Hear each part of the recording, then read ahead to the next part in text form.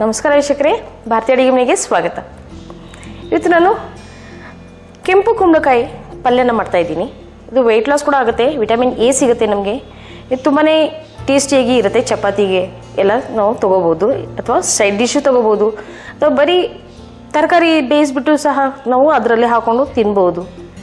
ಬನ್ನಿ, ಇದಕ್ಕೆ ಏನೇನು ಸಾಂಬಾರು ಬೇಕು ನೋಡೋಣ. ನಾನು ಕೆಂಪು ಕುಂಬಳಕಾಯಿ ತೊಗೊಂಡಿದ್ದೀನಿ. ಇದನ್ನು ನಾವು ಸಿಪ್ಪೆ ಸುಲಿದು ಈ ರೀತಿ ಕ್ಯೂಬ್ಸ್ ಥರ ಕಟ್ ಮಾಡ್ಕೊಂಡಿದ್ದೀನಿ. ಮೀಡಿಯಮ್ ಸೈಜಾಗಿ ತುಂಬ ಸಣ್ಣ ಮಾಡಿಬಿಟ್ರೆ ಬೇಂದಾಗ ತುಂಬ ತುಂಬಾ ಪೇಸ್ಟಿ ಥರ ಆಗಿಬಿಡುತ್ತೆ. ಸೊ ಹಾಗಾಗಿ ನಾನು ಸ್ವಲ್ಪ ದಪ್ಪ ಸೈಜೇ ತೊಗೊಂಡಿದ್ದೀನಿ ಇದನ್ನು. ಬನ್ನಿ ಇದಕ್ಕೆ ಏನೇನು ಸಾ ಬೇಕು ನೋಡೋಣ. ಈರುಳ್ಳಿ ತೊಗೊಂಡಿದ್ದೀನಿ ಶುಂಠಿ ಬೆಳ್ಳುಳ್ಳಿ ಹಸಿಮೆಣ್ಸಿನ್ಕಾಯಿ ಮತ್ತು ಬಟಾಣಿ ತೊಗೊಂಡಿದ್ದೀನಿ. ಇದು ಆಪ್ಷನ್ ಇದ್ದಾಗ ಹಾಕ್ಬೋದು ಇಲ್ಲಾಂದರೆ ಇಲ್ಲ. ಮತ್ತು ಕೊತ್ತಂಬರಿ ಸೊಪ್ಪು ಕರ್ಬೇವಿನ ಸೊಪ್ಪು ಗರಂ ಮಸಾಲ. ತೆಂಗಿನಕಾಯಿ ತುರಿ ತೊಗೊಂಡಿದ್ದೀನಿ. ಮತ್ತು ಎಣ್ಣೆ ಉಪ್ಪು ಸಾಸಿವೆ ಅರಿಶಿನ ಬನ್ನಿ ಮಾಡೋಕೆ ತಯಾರಿ ಮಾಡ್ಕೊಳ್ಳೋಣ. ಗ್ಯಾಸ್ ಅಂಟಿಸ್ಕೊಂಡು ಕಡಾಯಿ ಬಿಸಿ ಮಾಡೋಕೆ ಇಡೋಣ. ಈಗ ಎಣ್ಣೆ ಹಾಕ್ತಾ ಇದ್ದೀನಿ. ನಾನು ವೆಜಿಟೇಬಲ್ ಆಯಿಲ್ ಹಾಕ್ತಾ ನೀವು ಯಾವ್ದು ಹಾಕಿ ಹಾಕ್ತಿರೋ ಅದನ್ನು ನೀವು ಹಾಕ್ಕೋಬೋದು. ಸ್ವಲ್ಪ ಜಾಸ್ತಿ ಹಾಕೊತೀನಿ. ಎಣ್ಣೆ ಕಾದಿದೆ. ಸಾಸಿವೆ ಹಾಕೊತಾ ಇದ್ದೀನಿ.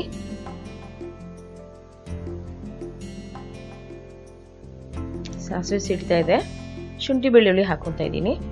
ಈ ಶುಂಠಿನ ನಾನು ತುರಿದು ತಗೊಂಡಿದ್ದೀನಿ. ಬಾಯಿಗೆ ಚೆನ್ನಾಗಿ ಸಿಗುತ್ತೆ, ಚೆನ್ನಾಗಿರುತ್ತೆ ಟೇಸ್ಟಿಯಾಗಿ. ಕರ್ಬೇವಿನ ಸೊಪ್ಪು ಹಾಕೊತಾ ಇದ್ದೀನಿ. ಮತ್ತು ಸಣ್ಣದಾಗಿ ಹೆಚ್ಚಿಟ್ಕೊಂಡಿರೋದು ಹಸಿಮೆಣಸಿನ್ಕಾಯಿ ಹಾಕೊತೀನಿ. ಮತ್ತು ಈರುಳ್ಳಿ.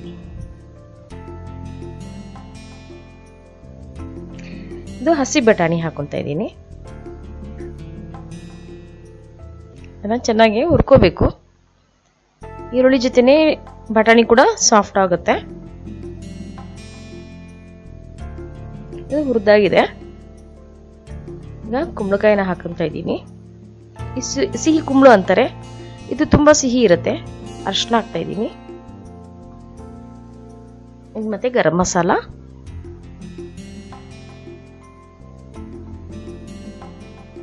ಸ್ವಲ್ಪ ಕೊತ್ತಂಬರಿ ಸೊಪ್ಪು ಹಾಕೊತಾ ಇದ್ದೀನಿ. ಅದೇ ರುಚಿಗೆ ತಕ್ಕಷ್ಟು ಉಪ್ಪು. ಇದಕ್ಕೆ ಖಾರ ಉಪ್ಪು ಸ್ವಲ್ಪ ಜಾಸ್ತಿ ಹಾಕೋಬೇಕು ಸಿಹಿ ಇರುತ್ತೆ. ಸೊ ಹಾಗಾಗಿ ನಾನು ಖಾರ ಜಾಸ್ತಿನೇ ಹಾಕೊತೀನಿ ಚೆನ್ನಾಗಿ ಮಿಕ್ಸ್ ಮಾಡ್ಕೋತೀನಿ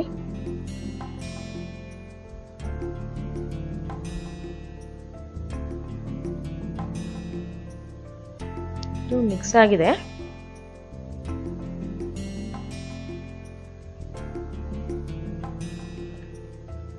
ಸ್ವಲ್ಪ ಮಧ್ಯ ನಾನು ಸ್ವಲ್ಪ ಒಂದು ಸೌಟ್ ನೀರಷ್ಟು ಹಾಕೊತೀನಿ. ಇದು ಹಬೆ ಬರೋಕ್ಕೆ ಮಾತ್ರ ಹಾಕೊತೀನಿ. ತುಂಬ ಬೇಗ ಬೆಂದೋಗುತ್ತೆ ಸಾಫ್ಟ್ನೆಸ್ ಆಗಿಬಿಡುತ್ತೆ. ಮತ್ತೆ ಕಾಯಿ ತುರಿ ಹಾಕೊತಾ ಇದ್ದೀನಿ. ಇದನ್ನು ನಾವು ಹತ್ತು ನಿಮಿಷ ನಾನು ಮುಚ್ಚಿಡ್ತೀನಿ. ಹಬೆಯಲ್ಲೇ ಬೆಂದು ಬಿಡುತ್ತೆ ಕುಂಬಳಕಾಯಿನ. ಒಂದು ಹತ್ತು ನಿಮಿಷ ಆಯಿತು. ಒಂದ್ಸಲ ಮಿಕ್ಸ್ ಮಾಡ್ಕೋಬೇಕು.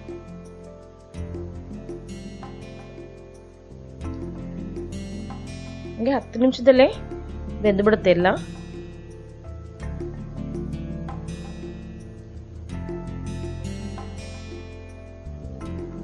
ಮೊದಲು ನಾನು ಏಳು ನಿಮಿಷ ಮುಚ್ಚಿಟ್ಟಿದ್ದೀನಿ. ಮತ್ತೆ ಈಗ ಎಲ್ಲ ಮಿಕ್ಸ್ ಮಾಡಿಕೊಂಡು ಮತ್ತೆ ಒಂದು ಎರಡು ನಿಮಿಷ ಮುಚ್ಚಿಡ್ತೀನಿ.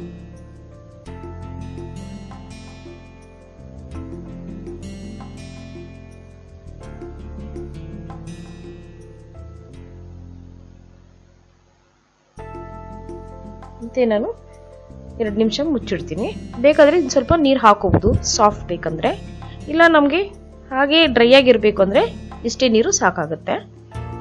ಒಂದ್ಸಲ ನೋಡೋಣ. ಬೆಂದಿದೆ. ಮತ್ತು ಸ್ವಲ್ಪ ಹೊತ್ತು ಮುಚ್ಚಿಡ್ತೀನಿ. ಇನ್ನೊಂದು ಎರಡು ನಿಮಿಷ. ಇಲ್ಲ, ಒಂದು ಹತ್ತು ನಿಮಿಷದಲ್ಲಿ ನಮಗೆ ಕುಂಬಳಕಾಯಿನ ಬೆಂದೋಗುತ್ತೆ. ಎರಡು ನಿಮಿಷ ಆಗಿದೆ. ಇದೆಲ್ಲ ಮಿಕ್ಸ್ ಮಾಡ್ಕೋತಾ ಇದ್ದೀನಿ.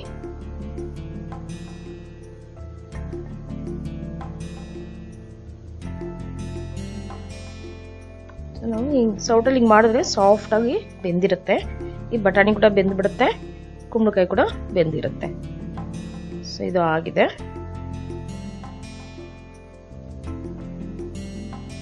ಗ್ಯಾಸ್ ಆಫ್ ಮಾಡಿಕೊಂಡು ಡಿಶ್ ಔಟ್ ಮಾಡ್ಕೊಳ್ಳೋಣ. ಕುಂಬಳಕಾಯಿ ಪಲ್ಯ ತಯಾರಾಯಿತು. ನಮಗೆ ಏಳು ನಿಮಿಷದಲ್ಲಿ ನಮಗೆ ಕುಂಬಳಕಾಯಿನ ಬೆಂದೋಗುತ್ತೆ ಸಾಫ್ಟ್ ಆಗಿಬಿಡುತ್ತೆ. ಸೊ ಅದಕ್ಕೆ ನಾನು ಸ್ವಲ್ಪ ದಪ್ಪ ಸೈಜ್ ತೊಗೊಂಡಿದ್ದೀನಿ. ತುಂಬ ಸಣ್ಣ ತೊಗೊಂಡ್ರೆ ತುಂಬ ಪೇಸ್ಟಿ ಥರ ಆಗುತ್ತೆ. ಮತ್ತು ನಾನು ಸ್ವಲ್ಪ ಒಂದು ಸೌಟಷ್ಟು ನೀರು ಹಾಕ್ಕೊಂಡಿದ್ದೀನಿ ಮತ್ತು ನಮಗೆ ಬೇಕು ಅಂದರೆ ನಮಗೆ ಇನ್ನು ಸ್ವಲ್ಪ ತ್ಯಾವಾಂಶ ಬೇಕು ಅಂತ ಅಂದರೆ ತುಂಬ ಡ್ರೈ ಅಂದರೆ ಇನ್ನು ಸ್ವಲ್ಪ ನಾವು ನೀರು ಹಾಕ್ಕೊಂಡು ನಾವು ಬೇಯಿಸ್ಕೋಬೋದು ಇದನ್ನು. ಸೊ ಇದಕ್ಕೆ ಸ್ವಲ್ಪ ಖಾರ ಜಾಸ್ತಿ ಬೇಕಾಗುತ್ತೆ. ಹಸಿಮೆಣಸಿನ ಸ್ವಲ್ಪ ಜಾಸ್ತಿ. ಯಾಕಂದರೆ ಇದು ಸ್ವೀಟ್ನೆಸ್ ಬರುತ್ತೆ. ಸಿಹಿ ಕುಂಬಳಕಾಯಿ ತುಂಬಾ ಸ್ವೀಟ್ ಇರುತ್ತೆ. ಸ್ವಲ್ಪ ಖಾರ ಕೂಡ ಜಾಸ್ತಿ ಇದ್ದರೆ ತುಂಬಾ ಟೇಸ್ಟಿ ಇರುತ್ತೆ. ಮತ್ತು ಜೋಳದ ಫುಲ್ಕಾದ ರಾಗಿ, ಚಪಾತಿ ಈ ಥರ ಎಲ್ಲ ಇದ್ದರೆ ತುಂಬಾ ಟೇಸ್ಟ್ ಇರುತ್ತೆ. ನೀವು ಲೈಕ್ ಮಾಡಿ ಕಮೆಂಟ್ಸ್ ಕೊಡಿ ಸಬ್ಸ್ಕ್ರೈಬ್ ಮಾಡಿ. ನನ್ನ ರೆಸಿಪಿ ನೋಡಿದ್ರೆ ನನ್ನ ಕಡೆ ನನಗೆ ಧನ್ಯವಾದ.